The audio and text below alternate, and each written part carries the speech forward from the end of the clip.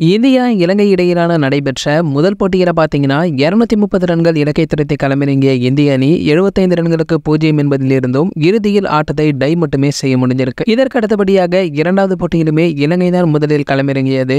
Opener Pathum Nissanka அவர்கள் duck out முறையில் முதல் பந்திலேயே சிராஜ் அவர்களுடைய வேகத்தில் கேட்ச் ஆகியிருக்காரு. இருந்தாலுமே இலங்கை அணி எந்த விதமான ஒரு அழுத்தங்களையுமே சந்திக்காமல் தொடர்ந்து அதிரடியாகவும் விளையாடி இருக்காங்க முதல் விக்கெட் இழந்த பிறகும் கூட அவிக்ஷா பெர்னாண்டே என்பவர் அறுபத்தி ரெண்டு பந்துகளுக்கு நாற்பது ரன்களும் குஷன் மெண்டிஸ் என்பவர் நாற்பத்தி ரெண்டு பந்துகளுக்கு முப்பது ரன்களும் இருவரும் அபாரமாக விளையாடி பெரிய பார்ட்னர்ஷிப் அமைத்திருக்காங்க. இருந்தாலுமே அதற்கு அடுத்தபடியாக சமர விக்ரம என்பவர் முப்பத்தொரு பந்துகளுக்கு பதினான்கு ரன்களும் ஜனித் லியான்கோ என்பவர் இருபத்தொன்பது பந்துகளுக்கு பன்னெண்டும் இருவரும் படும் மோசமாக சதப்பி பின்னடைவையுமே ஏற்படுத்தியிருக்காங்க. முதல் போட்டியை டிரா செய்த இந்திய அணி பார்த்தீங்கன்னா இந்த போட்டியில அதிரடியான ஒரு துவக்கத்தை தந்திருக்காங்க. அதாவது கேப்டன் ரோஹித் சர்மா அவர்கள் நாற்பத்தி நான்கு பந்துகளில் நான்கு சிக்ஸர்கள் ஐந்து பவுண்டரி உட்பட அறுபத்தி நான்கு ரன்களை குவித்து அசத்தியிருக்காரு. கில் அவர்களும் நாற்பத்தி நான்கு பந்துகளுக்கு முப்பத்தைந்து ரன்களை எடுத்ததால இந்தியாவிற்கு வலுவான துவக்கமுமே கிடைத்திருக்கு. அதாவது தொண்ணூத்தி ஏழு ரன்களுக்கு எந்த ஒரு விக்கெட்டும் இல்லாமல் இந்திய அணியில் ஓபனர்கள் ஆட்டமிழந்த பிறகு பார்த்தீங்கன்னா விராட் கோலி அவர்கள் பத்தொன்பது பந்துகளுக்கு பதினான்கு ரன்களும் தூபே அவர்கள் டக் அவுட் முறையிலும் ஸ்ரேயஸ் ஐயர் ஒன்பது பந்துகளுக்கு ஏழு ரன்களும் கே எல் ராகுல் டக் அவுட் முறையிலும் ஆகியோர் அடுத்தடுத்து ஆட்டமிழந்ததால இந்தியா திடீரென்று தொண்ணூத்தி ஏழு ரன்கள் ஜீரோ என்பதில் இருந்து ஆறு விக்கெட்களை இழந்து நூத்தி நாற்பத்தி ஏழு என படும் மோசமாகவும் சொதப்ப ஆரம்பித்திருக்காங்க. பேட்டர்கள் சொதப்பியிருக்க நிலையில ஆல்ரவுண்டர் அக்ஷர் படேல் தொடர்ந்து அபாரமாக விளையாடி